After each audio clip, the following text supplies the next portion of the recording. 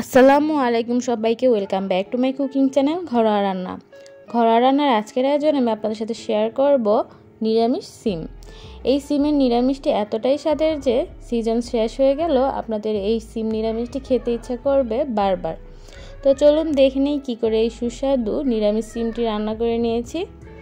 সিমের এই নিরামিষটি রান্না করার জন্য আমি এখানে মাত্র দুটি সবজি ব্যবহার করব। চাইলে আপনারা কিন্তু অনেক ধরনের সবজি ব্যবহার করেও এই একই পদ্ধতিতে নিরামিষ তরকারি রান্না করতে পারেন। তো নিরামিষ এই সিমের জন্য এখানে আমি এক কেজি পরিমাণ সিম নিয়ে নিয়েছি। সিমগুলোকে আমি ভালো মতো চেক করে তারপর কেটে নিয়েছি। কারণ এই সিমের ভিতরে কিন্তু পোকা কিংবা পোকার ডিম সহজেই পাওয়া যায়। তাই চেক করে এই সিমগুলোকে কেটে নিতে হবে। কেটে নেওয়ার পর আমি এই সিমগুলোকে খুব ভালো করে ধুয়ে নিব। তো ধুয়ে নেওয়ার পর আমি সরাসরি একটি কড়াইতে দিয়ে নিয়েছি। এই নিরামিষ সিমের জন্য অবশ্যই এরকম বেশি বীজওয়ালা সিমগুলোই ব্যবহার করবেন। এতে করে সিমের নিরামিষটি খেতে বেশি ভালো লাগবে। তো এখানে আমি বাকি উপকরণগুলো অ্যাড করে নিচ্ছি। তো প্রথমে দিয়ে নিচ্ছি এক চা চামচ পরিমাণ হলুদ গুঁড়ো, স্বাদ মতো লবণ এবং দু চা চামচ পরিমাণ মরিচ গুঁড়ো। সিমের এই নিরামিষটি কিন্তু একটু ঝাল না হলে ভালো লাগে না, তাই একটু চেষ্টা করবেন যে মরিচের পরিমাণটা বেশি দিতে। তো এবার আমি দিয়ে দিচ্ছি এক টেবিল চামচ পরিমাণ রসুন বাটা। এবার সবগুলো উপকরণকে হাত দিয়ে খুব ভালো করে মাখিয়ে নেব।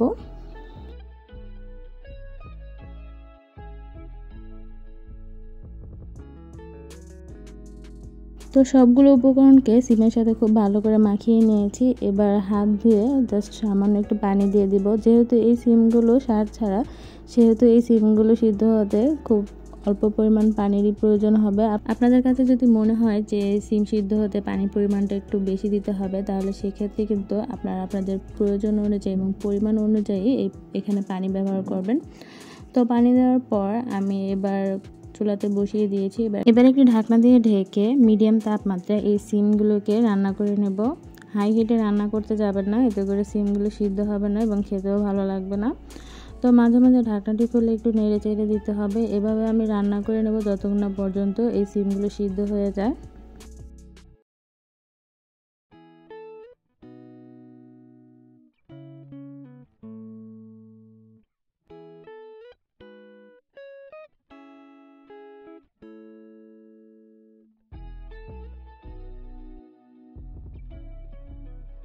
প্রায় দশ মিনিটের মতো রান্না করার পর আমার সিমগুলো এখানে সিদ্ধ হয়ে গিয়েছে। এবার খুব ভালো করে একটু নেড়ে চেড়ে দিতে হবে। চাইলে আপনারা সিমগুলো খুন্তি দিয়ে একটু ভেঙে দিতে পারেন। এতে করে সিমের নিরামিষটি অনেকটা আঠালো হবে। সিমগুলো ভালো মতো সিদ্ধ হয়ে যাওয়ার পর এখন আমি দিয়ে দিচ্ছি টমেটো। এখানে আমি দুটো ছোটো সাইজের টমেটো দিয়ে দিচ্ছি এবং টমেটোগুলোকে একটু পাতা পাতা করে কেটে দিয়েছি। এতে করে টমেটোগুলো সিদ্ধ হতে সময় কম লাগবে। অবশ্যই সিম সিদ্ধ হওয়ার পরই টমেটোগুলো দিবেন।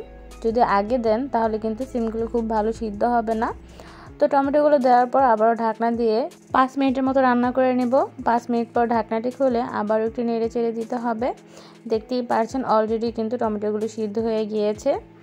তো এই পর্যায়ে আমি বাকি আরেকটি উপকরণ দিয়ে নেব। এখানে আমি আমার স্বাদ অনুযায়ী আস্ত কাঁচামরিচ দিয়ে নিচ্ছি। যে কোনো নিরামিষই একটু ঝাল হলে বা কাঁচামরিচটি একটু ভাতের সাথে ভেঙে খেলে তা কিন্তু অনেকটা বেশি ভালো লাগে। তো কাঁচামরিচ দেওয়ার পর দু তিন মিনিটের জন্য আবার ঢাকনা দিয়ে আমি রান্না করে নিয়েছি। এবার ঢাকনাটি খুলে নেড়ে চেড়ে এই নিরামিষটিকে একটি প্লেটে বা বাটিতে নামিয়ে নেব। এরপর এই নিরামিষটি কিন্তু বাগার দিতে হবে।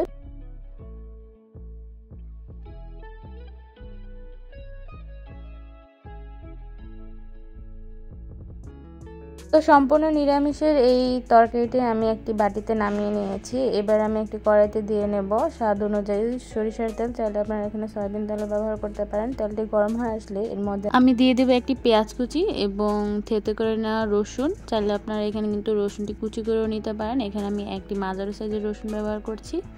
তো সবগুলো উপকরণকে তেলের মধ্যে আমি ততক্ষণ পর্যন্ত ভেজে নেব, যতক্ষণ না পর্যন্ত বাদামি কালার হয়ে না যায়। তো দেখতেই পারছেন পেঁয়াজ এবং রসুনটি বাদামি কালার হয়ে গিয়েছে। এই পর্যায়ে আমি যে নিরামিষ সিমটি রান্না করে নিয়েছি তা এর মধ্যে ঢেলে দেব। ঢেলে দেওয়ার পর আমি আবারও কিছুক্ষণ এই বাগানের মধ্যে নিরামিষ সিমটিকে রান্না করে নেব। কিছুক্ষণ এভাবে রান্না করে নেওয়ার পর আমি লাস্ট পর্যায়ে দিয়ে দেব ধনিয়া পাতা কুচি। ধনিয়া পাতা কুচিটি আপনারা আপনাদের স্বাদ অনুযায়ী দিয়ে নেবেন। তো ধনিয়া পাতা কুচি দেওয়ার পর নেড়ে চেড়ে নামিয়ে নিলেই হয়ে যাবে। সিমের এই নিরামিষটি ভাত কিংবা রুটির সাথে খেতে কিন্তু অসাধারণ লাগে। চাইলে খুব সহজেই নিরামিষটি রান্না করে ফেলতে পারেন। আশা করি আজকের এই নিরামিষ সিমের রেসিপিটি আপনাদের কাছে ভালো লেগেছে। আমার এই রেসিপিগুলো আপনাদের কাছে ভালো লাগলে অবশ্যই আমার ভিডিওতে লাইক দিবেন এবং আমার চ্যানেলটি সাবস্ক্রাইব করে আমার পাশে থাকবেন। সবাই ভালো থাকবেন। আল্লাহ হাফিজ।